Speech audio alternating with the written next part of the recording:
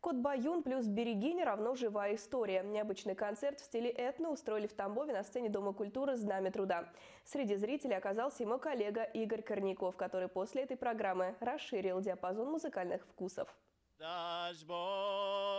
Ярила.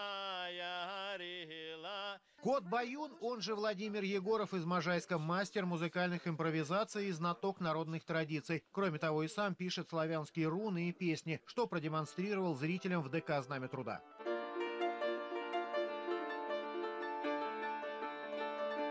Впрочем, этот концерт больше напоминал творческую встречу, если хотите, этно-посиделки с экскурсом в историю русской песни. Такие визиты очень важны, потому что я бы их назвал народной дипломатией. То есть это не организованное что-то сверху, а просто друзья вот пригласили, соорганизовав здесь а, для меня концерт. Кроме Владимира Егорова, на сцене выступили и артисты из тамбовского ансамбля «Берегиня», настоящие русские красавицы с очаровательными голосами.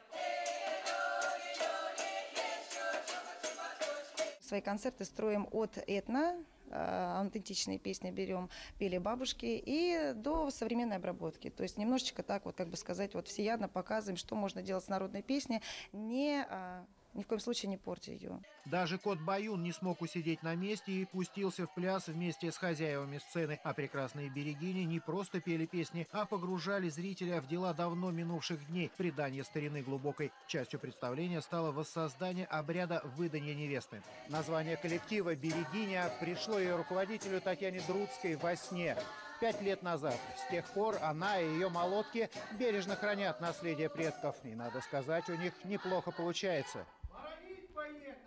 Игорь Корняков, Богдан Северин, Вести, Тамбов.